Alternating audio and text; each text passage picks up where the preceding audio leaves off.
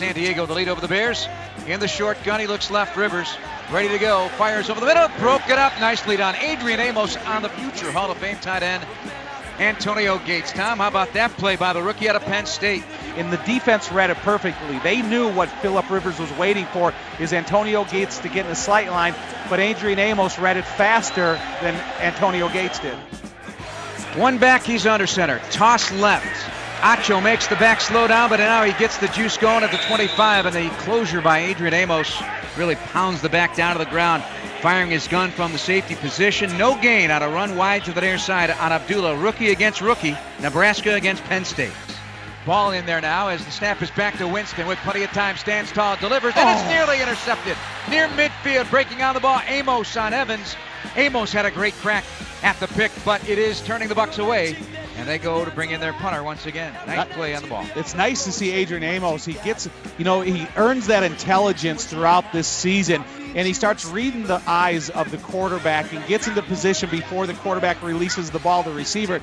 That's straight up DB ability to read the eyes of the quarterback to get in that winning position. Gaston up front with Sutton and Unrein and Lamarr Houston.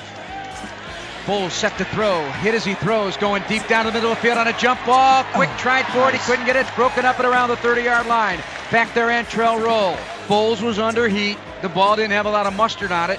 Kind of flailed around, about out there, and it was basically 50 50 try. Let's see if you can get it. But the And safeties getting themselves in a nice position to be very aggressive upon the descent of the football.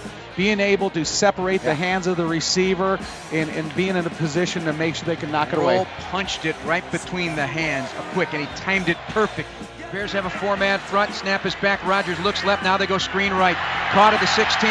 Starks inside the 10. Starks brought down around the ankles at about the five-yard line. Tackled by Chris Prosinski. TJ Lang and Josh Sitton, they should be ashamed of themselves. They both had a shot to hit Chris Prosinski, and both of them missed him, and he made the tackle. That's something that you're not going to want to watch in front of your teammates. Here's the snap. Winston rolling to his right. Under immediate pressure. Hit as he throws. Jump ball. And it is intercepted. Harold Jones-Quartey coming out of the end zone 10, 15, 20. Across the 25-yard line. Bears with a takeaway. Harold Jones Cortez first NFL interception, and the Bears turn away the Bucks on third and 11 from the 12.